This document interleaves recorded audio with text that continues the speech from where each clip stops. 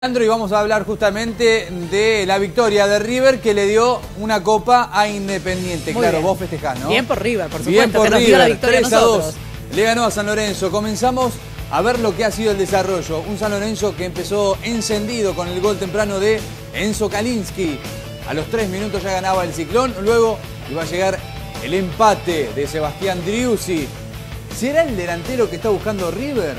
¿O tendrá que ir a buscar afuera River? ¿eh? Si lo tiene en casa. Bueno, lo cierto es que el juvenil se hizo grande ¿eh? en la noche de ayer en Mar del Plata con dos goles.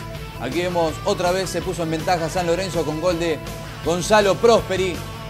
Justamente a los 39 minutos, ya yéndose al complemento, empataba y ganaba, mejor dicho, San Lorenzo de esa manera 2 a 1. Después movió fichas el muñeco Gallardo, ingresó Nacho Fernández y también Mercado.